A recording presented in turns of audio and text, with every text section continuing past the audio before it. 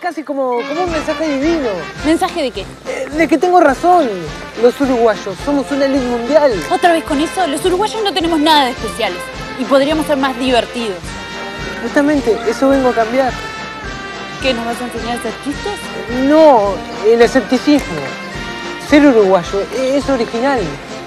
Somos una minoría selecta. Nosotros somos solo 3 millones. Una de las cosas más raras en el mundo es ser uruguayo.